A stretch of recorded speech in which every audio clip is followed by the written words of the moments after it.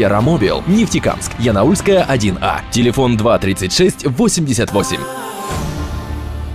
На повестку дня публичных слушаний, которые пройдут 20 ноября, вынесены в основном частные вопросы. Будет решаться судьба очередных четырех участков, расположенных в микрорайоне Крым-Сараево. Они требуют отдельного разрешения для использования под строительство индивидуальных жилых домов. Такое же разрешение потребовалось и владельцу участка в садовом некоммерческом товариществе «Клубничка». Еще два вопроса посвящены отклонению от предельных параметров разрешенного строительства. Пока в нормы не вписываются здания на улице Монтажной, 18, строение 13 и по адресу инициативной 26А. Публичные слушания начнутся в 11 часов. Для регистрации участникам необходимо иметь при себе паспорт.